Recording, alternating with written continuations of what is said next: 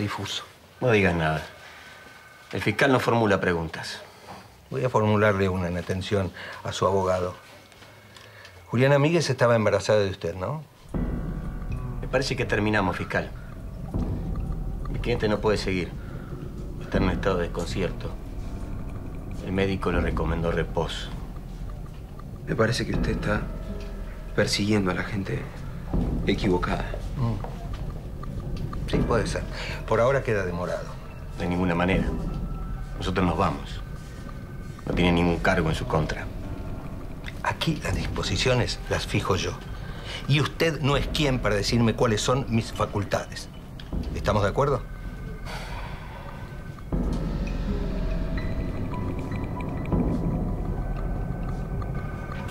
Toma un poquito, Rosarito. No, no, no quiero, gracias. Si dice que no hay nada nuevo, le tenés que creer. No nos va a mentir, ¿no? A veces me parece que confunden lo que es cuidarme con tratarme de tonta. Y así no me cuidan tratándome de tonta. Ay, Rosario, Rosario, ¿cómo, cómo, querés que te diga algo que yo no sé? Pareces mi vieja de hincha pelotas así.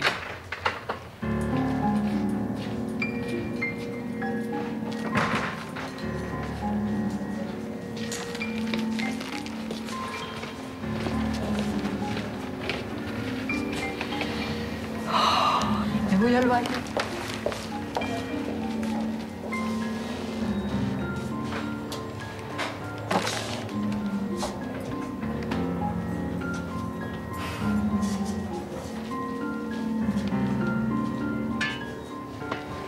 Blanca, está pasando algo muy grave que puede ser determinante. Y es mejor que todos los que estamos alrededor de Rosario estemos al tanto. Quizás llegó el momento de empezar a contenerla. La fiscalía está intentando chequear un rumor de que Juliana puede estar muerta.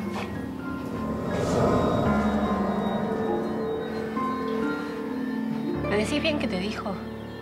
Te digo lo que me dijo el tipo. Que Isabel pasó la noche ahí en el escondite con Bautista y que ahí le hizo la entrevista.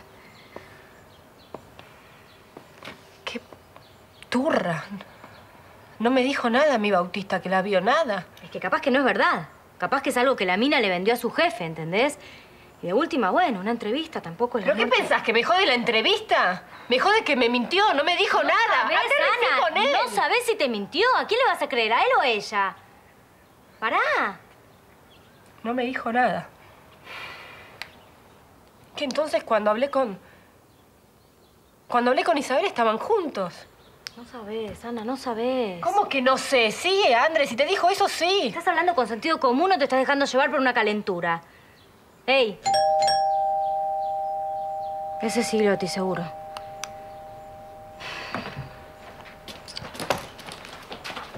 ¿Quién es? Ana, ¿Qué haces, Tino? ¿cómo estás? Andrea del Tano. Hola. ¿Cómo te va? ¿Todo bien? Eh, Está medio rara. Eh, sí, eh, no vine solo. Eh, Norman, eh, vení, pasa. Hola. Te presento Hola. un integrante más del grupo, Norman Trench. Hola. Andrea, ¿qué tal? Lo traje porque creo que te puede dar información bastante interesante. Buenísimo. Un cerebro, el pibe. Un.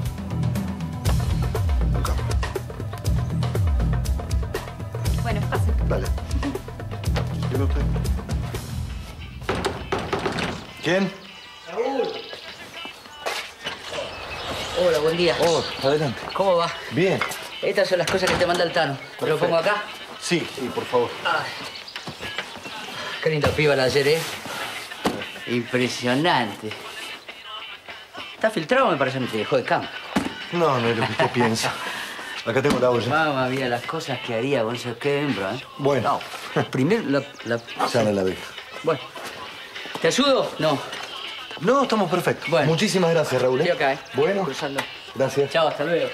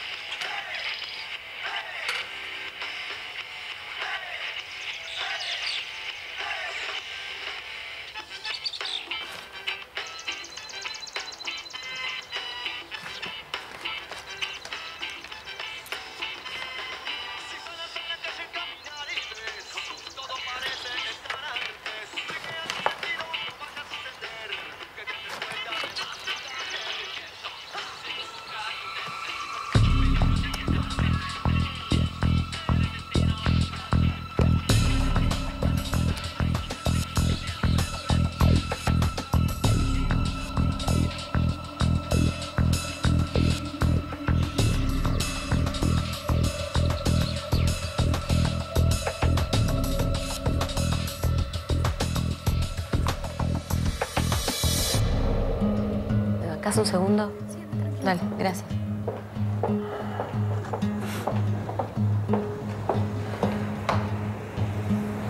Hola. Hola. Eh, me enteré que me estabas buscando, ¿puede ser? ¿Sabes por qué? Por mi hija, ¿no? ¿Podemos hablar en algún lugar más tranquilos?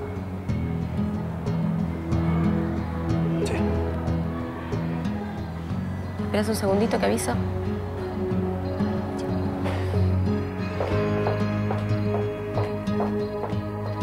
Necesito ir a tomar un café. Dale, dale, Enseguida no hay estoy de problema, vuelta. sí, sí. Gracias.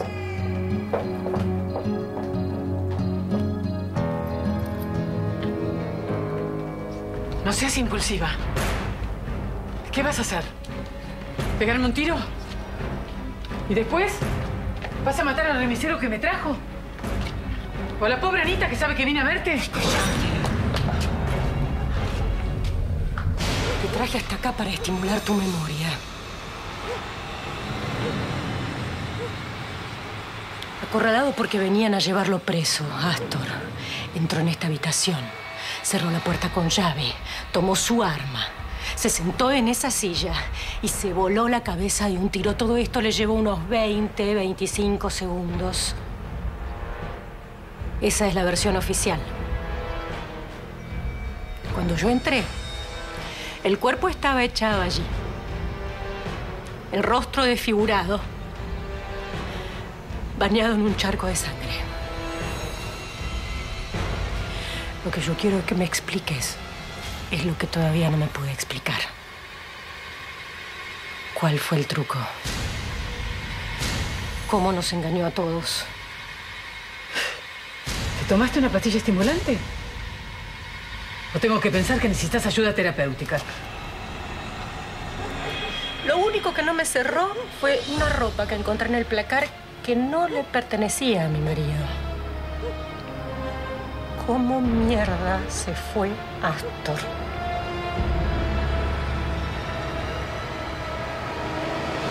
Ese es el camino, ¿ves? Y acá está el túnel por donde yo salí. En realidad no es un túnel, es un, un arroyo entubado, ¿no? Y todo esto se había construido en su momento antes de, de que se hiciera el casco de la estancia. Yo por ahí no creo que hubiera pasado. Sí, bastante años. No te preocupes que hubiese pasado, sí. Dos como vos pasan seguro. bueno, seguimos por acá. ¿Ves? ¿Ves acá que hay un, un recodo? Es una L. ¿eh? Bueno, de acá salen los tres tubos. Yo le digo tubos, en realidad son unos conductos. Yo lo mandé a construir en el 83 cuando tuvimos la guerra con los Pereira. Orden de Kurt, por supuesto. ¿no? ¿Y a dónde llevan esos conductos? Ahí voy, mira. Este, el primero, va directamente al interior de la casa, ¿ves? Del recorrido. ¿Sí? Este que está acá en el centro es el que sale sobre la parte oeste, sobre los fondos, en realidad, de lo que sean los establos. El que nos importa es este, que es el que va directamente al norte. ¿Sí? Le vas acá, y acá están los dos tanques de agua. ¿Sí? Esto acá es donde hay seguramente dos guardias. En general, hay veces que hay más, depende de los días. Entonces, el plan es ese. Ese es el plan. Yo te digo que el trabajo en superficie no debe llevar más de cinco minutos, si son eficaces, directos. ¿eh? Cinco minutos, no más. Eso sería todo. ¿Entendiste? ¿Quieres que te lo explique de nuevo? Vamos.